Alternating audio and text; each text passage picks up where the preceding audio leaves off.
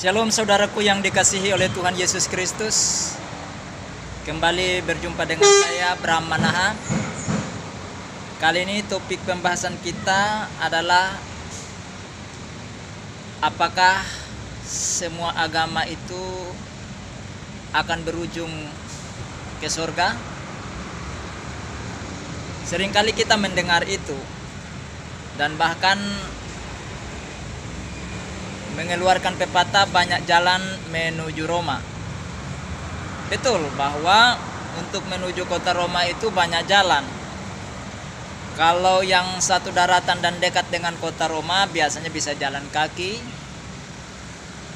Tetapi yang jauh bisa naik kereta, bisa naik sepeda pancal, bisa naik mobil, bisa naik motor. Nah, saudaraku, hal ini sepertinya logis sekali. Tetapi Tuhan Yesus katakan bahwa Akulah jalan kebenaran dan hidup. Tidak ada seorang pun yang datang kepada Bapa kalau tidak melalui aku. Di dalam Yohanes pasal 14 ayat yang ke-6. Artinya Yesus mengklaim satu-satunya jalan untuk masuk ke dalam surga bertemu dengan Allah yaitu dirinya. Mengapa? Karena hidup di dalam dunia ini untuk menuju ke surga itu ibarat orang yang membeli tiket di loket.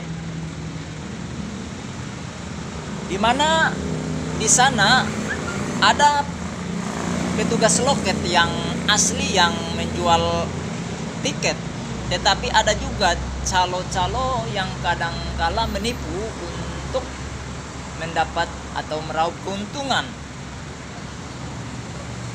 satu saat tahun 2000 silam saya untuk pertama kali mau ke Bengkulu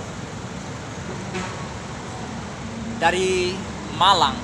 Jadi saya sampai di Jakarta di tepatnya di Pulau Gadung baru saya membeli tiket untuk menuju ke Bengkulu. Dan saudara tahu ketika di loket saya mencari loket untuk penjualan tiket Bengkulu saya tidak temukan.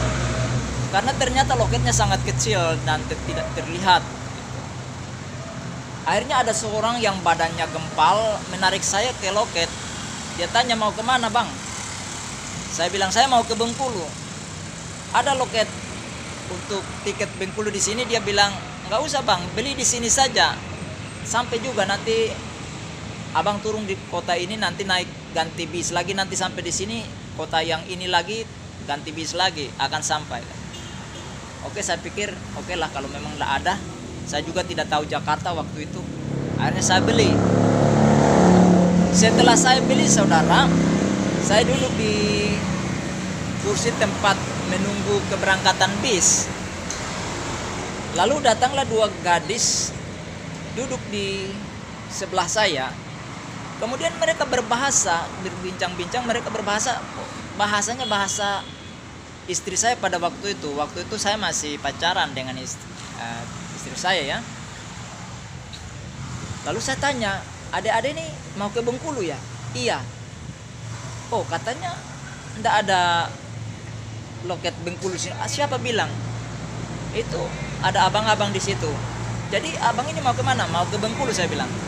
Akhirnya mereka bawa saya pergi ke loket yang pertama itu. Mereka marah-marah di situ. Mereka menyuruh untuk mengembalikan tiket saya. Akhirnya mereka kembalikan.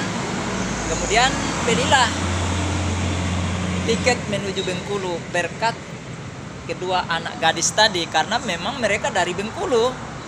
Dan kebetulan kota kabupatennya yaitu kabupaten mana? Satu kabupaten dengan istri saya kotanya sama kota mana ya? Nah saudara bayangkan kalau waktu itu tidak ditolong oleh anak-anak dari Bengkulu ini saya bisa tersesat dan tidak sampai ke Bengkulu. Saya bisa terlontang lantung jadi gembel ya nah jadi hal ini sama dengan ke surga iblis mengutus utusannya untuk menyesatkan banyak orang dengan berkata bahwa kalau ikut agama ini masuk surga, ikut kepercayaan ini masuk surga. Allah pun membuka jalan satu-satunya melalui anak tunggalnya Yesus Kristus.